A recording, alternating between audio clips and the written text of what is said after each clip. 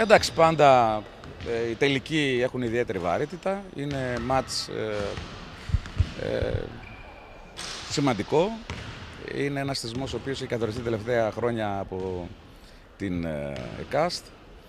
Ε, οι νεάνιδες τώρα του Άρη είναι ε, ε, μια ομάδα η οποία θέλει να πρωταγωνίσει αυτά τα κομμάτια.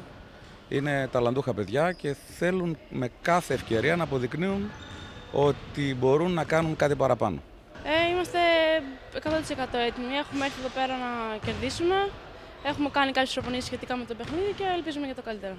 Ε, είμαστε έτοιμοι να δώσουμε ό,τι καλύτερο μπορούμε. Σίγουρα δεν θα είναι εύκολο το παιχνίδι. Είναι πολύ έμπειρες οι παίχτες που έχουμε να αντιμετωπίσουμε. Αλλά έχουμε προετοιμαστεί κατάλληλα. Πιστεύω θα δώσουμε το 100% και ο καλύτερος θα αναγνωριστεί στο τέλος του παιχνιδιού. Εντάξει, το τελικός είναι μια γιορτή και για την ΕΚΑΣ και για τα παιδιά. Οι μικρές είναι η καλύτερη ομάδα αυτή τη στιγμή στις Νεάνιδες.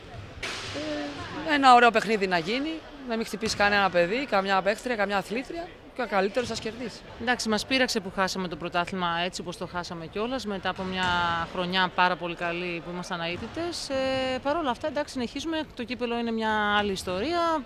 Ε, θεωρώ ότι είμαστε έτοιμες να παίξουμε. Θα είναι καλό μας, θα αντιμετωπίσουμε νέα κορίτσια φρέσκα γρήγορα θεωρώ και πιο ξεκούραστα από εμάς αυτή τη στιγμή, αλλά με την εμπειρία μας νομίζω ότι μπορούμε να κερδίσουμε το μάτσο. Θα δώσουμε ό,τι καλύτερο μπορούμε και ό,τι έμεινε να το κερδίσουμε.